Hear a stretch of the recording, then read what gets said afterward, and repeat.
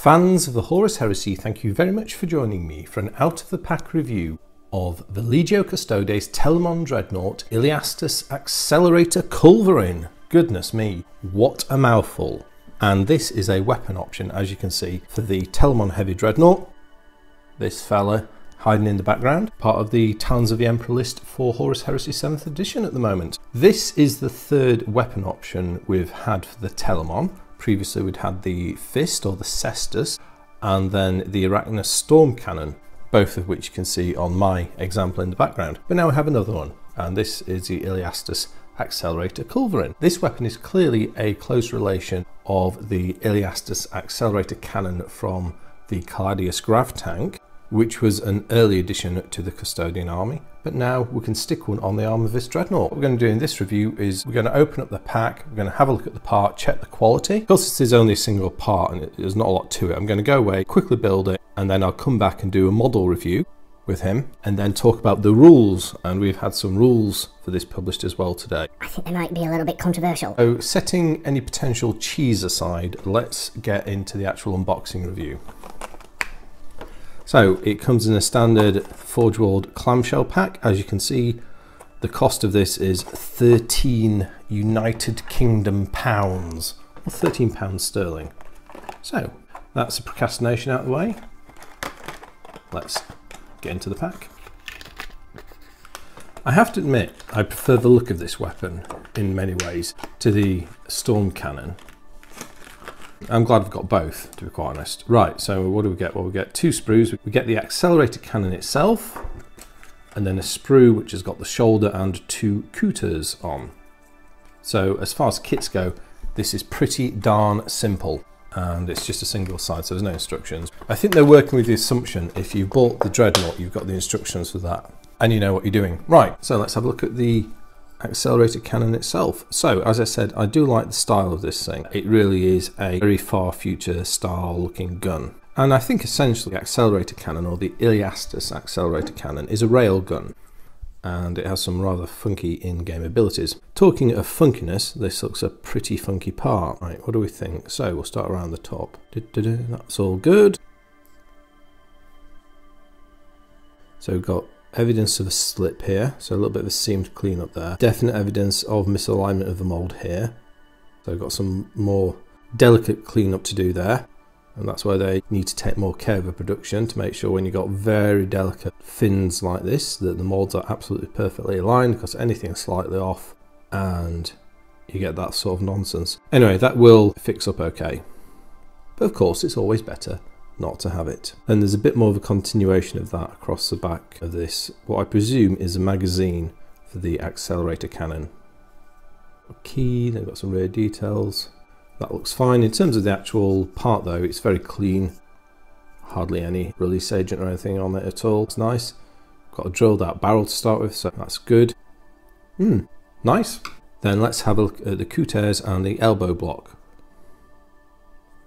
So the couters are a fairly simple fare. I mean, I've already got two of these from the original Dreadnought I bought, or from the original Arachnus Storm Cannon I bought. They look fine. It's about the elbow. So we've got a slip running across this there, so that's quite notable.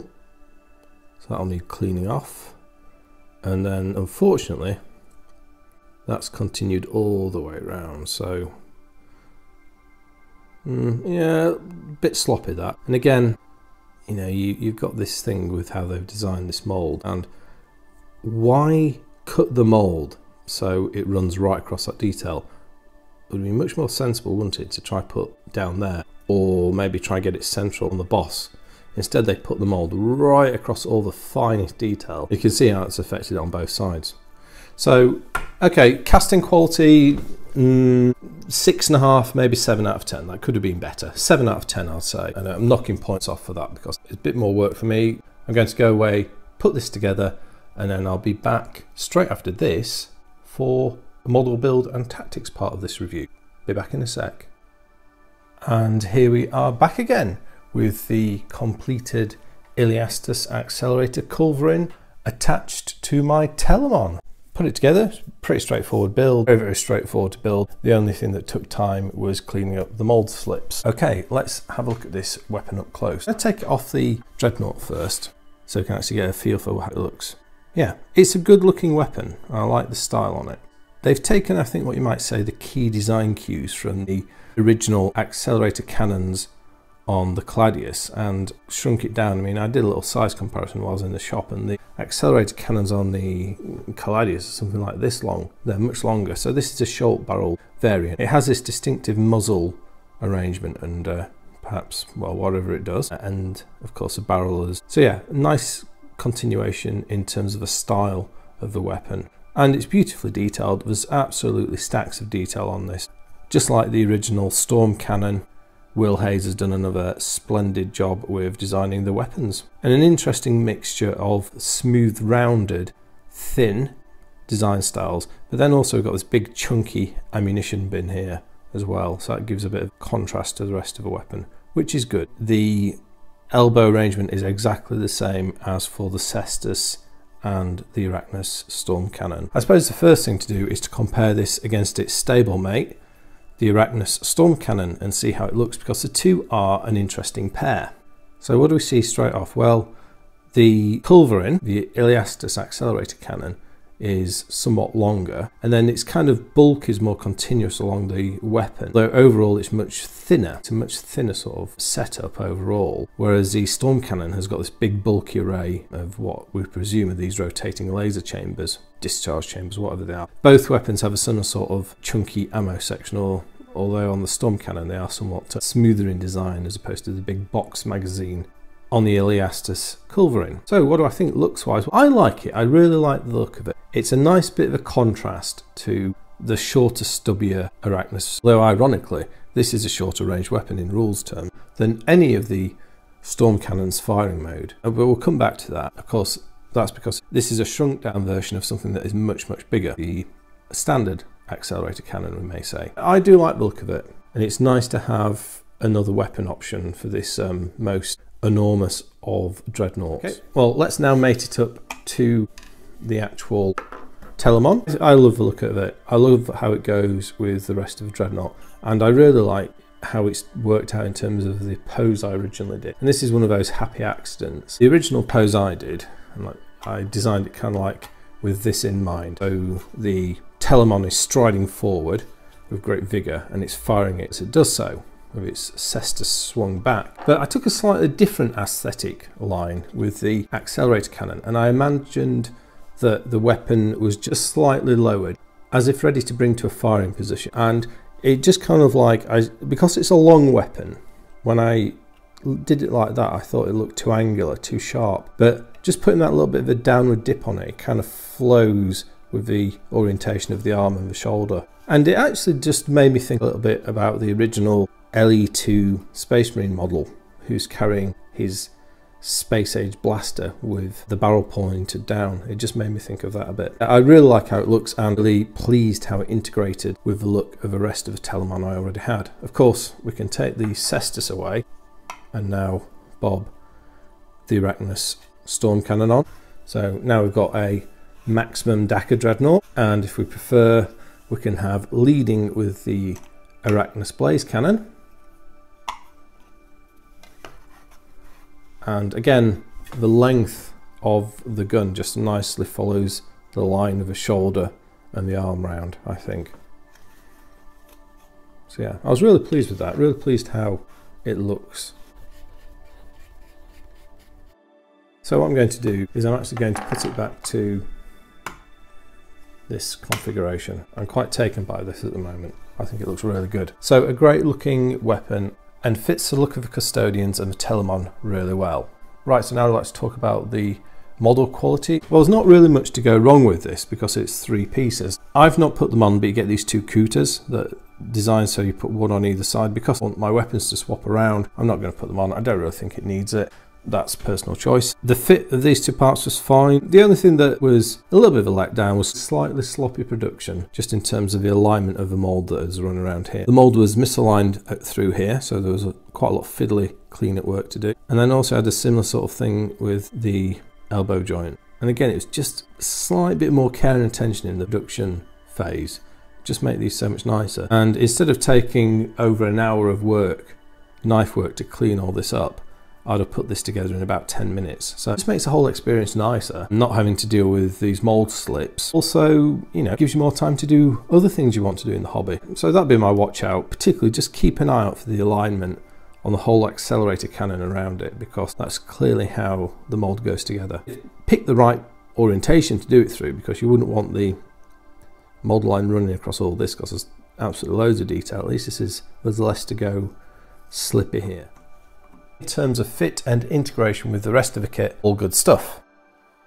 Now let us talk about the rules and we got an updated set of the Heavy Dreadnought rules on the Forge World website today. This takes a previous set of rules that have been provided and just updates them with the stats for the Iliastus Accelerator Culverin. Had a look through this, I don't think there's any changes to the rules as it was previously, with the exception of the addition of this new weapon. And let's talk about the Iliastus Accelerator Culverin. You can replace either of these cestus with an accelerator culverin for 25 points. So in that configuration there, that will cost 325 points.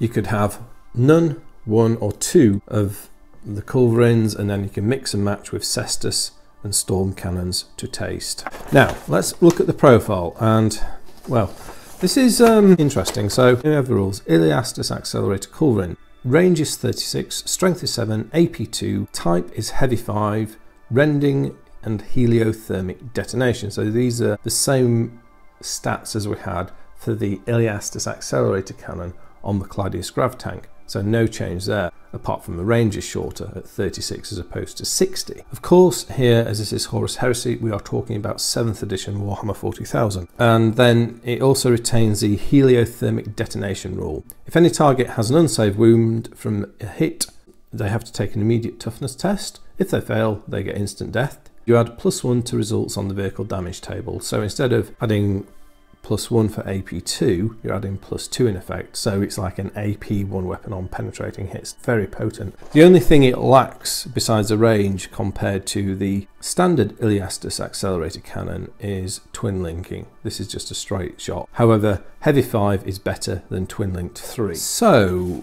what do I think? The addition of the Iliastus accelerator culverin for many people will put the question into their minds if it didn't already exist. Why do you need to bother with a Caladius Grav tank? Okay, it's a bit cheaper points wise, but for the Telemon, you just get so much more. You get absolutely monstrous close combat capabilities and you get more raw firepower. Better protected, more hull points, everything. It costs more, yes. I would say it's clearly worth it. A Heavy 5 Iliastus Accelerator Culverin, I mean, it's absolutely devastating firepower. I mean, it doesn't matter really what you're up against, it's going to be taking names. It's particularly good against vehicles and absolutely superb against Mechanicum monstrous creatures. And Thanatars better watch out for this thing because this thing is going to be uh, causing them a lot of kills. I think it's a great gun. And yes, it's only 36 inches, but we say only if you compare it to its stablemate, the Leviathan dreadnoughts, Leviathan storm cannon, well that's only 24 inches range. 36 inches range isn't bad for most battlefield users. You know, you've got to be playing 8v6 apocalypse style sized games to really get the most out of longer range weapons most of the time. So 36 isn't too bad, I don't think, particularly for so much firepower. As to whether or not you take that or this, well, this is better for mulching infantry and heavy infantry, so it's great for killing powered armour and marines. And then it also doubles up as a great anti-tank gun with its concentrator blast, whereas the accelerator culverin moves more towards dealing with heavier targets, although its weight of fire at 5 shots means it's never going to be a slouch when shooting against infantry. Brilliant Terminator remover with AP2, what's not to like? And on that point, when I originally shared my thoughts and did a rules review on the Telemon Heavy Dreadnought, I said it. I thought it was maybe about 30 points undercosted. I think this weapon is yet another demonstration of how undercosted this unit is. If you give it one of these and one of those, then you've got one of the most beastly anti-tank units in the game. It's absolutely murderous. Well, heavy infantry or anti-tank, you just absolutely mulch them. And that's before you even consider the spiculus bolt launchers. I don't know, I can't help but think the base dreadnought should be another maybe 20 points And each of these weapon options should be another 10. Something like that. I think it's um, undercosted. Okay, that does put it into the same sort of territory as a Knight Titan, but you know, it can do things that Knight Titans can't, and it's certainly much more durable overall on account of its multi layered refractor field. I think that debate will go on and on. Aside from that, the actual weapon looks great. Yeah, I love it. We'll just finish with a little shot of the Telemon with its brand new toy. As always, I'll be interested to hear what you think about what I've talked about in this video, especially if you have Caladius Grav tanks. How do you think the introduction of this weapon has changed the force balance and dynamic for the Talons of the Emperor? But other than that, I'd just like to say thank you very much for watching. I'll speak to you next time, and goodbye.